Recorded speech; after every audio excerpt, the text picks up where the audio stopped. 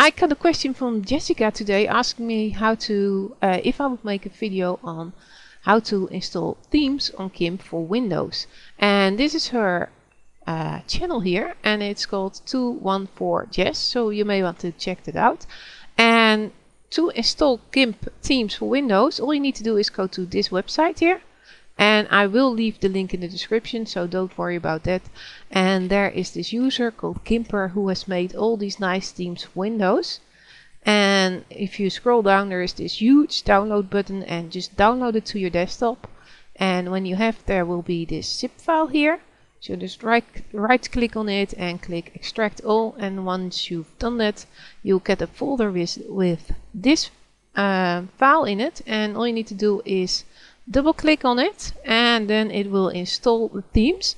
And then on your desktop this icon will appear and all you need to do is double click on it and here when you click show preview you can see what it will look like.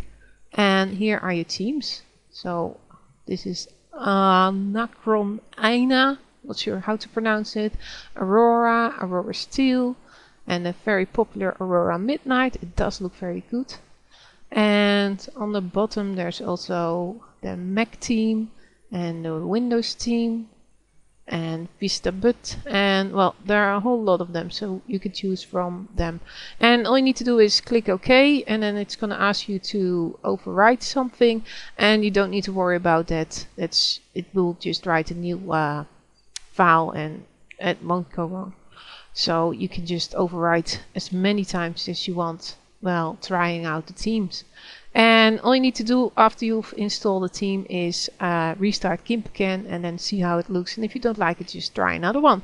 And that's basically it. So I hope this helped. And if you like this video, maybe you'd like to check my other videos and subscribe.